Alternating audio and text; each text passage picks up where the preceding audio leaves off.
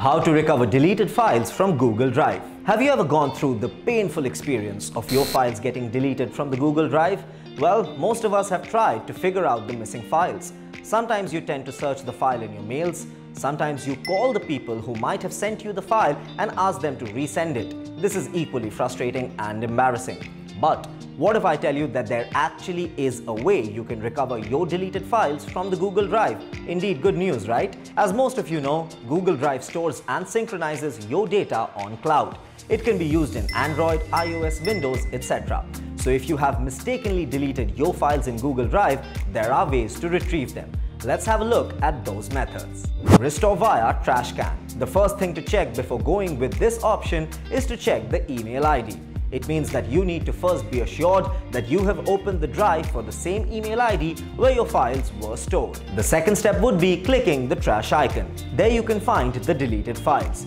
You have to select those files. Then click right and select the option of restore. Once you click that, the deleted files get restored back to their original folder. The file generally stays in the trash till 30 days after the file is deleted. Even if you remove a shared file, people can still view that file for 30 days. Recycle bin restore. For this method to work, you need to get Google Drive folder access from the recycle bin of your desktop. As soon as you get that access folder, click on it. The open folder will show you the deleted files. Right-click on it and clicking on the restore option will retrieve the files. View activity in Drive folder. This is another effective method to restore your deleted data you need to first click on My Drive. Then go to its taskbar and click on a symbol which looks like an inverted exclamation mark inside a circle. Once you click it, a window will open. Then click on Activity. It shows you the list of activities you have done and you get the status of the missing file. You can then restore that file. By using Google Vault. Retrieve data via Google Vault only if your current licensing is Vault inclusive.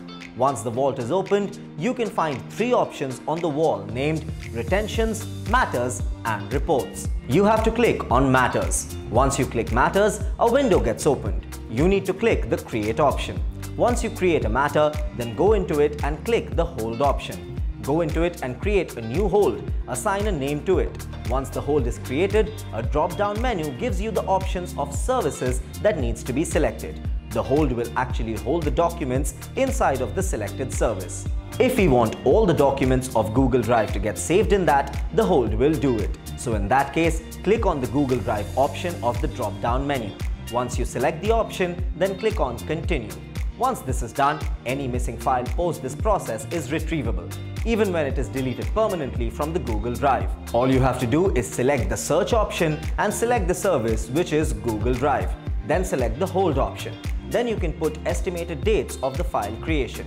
There will be a start date and an end date. Once you search through this, keep in mind to select dates consisting of a few months.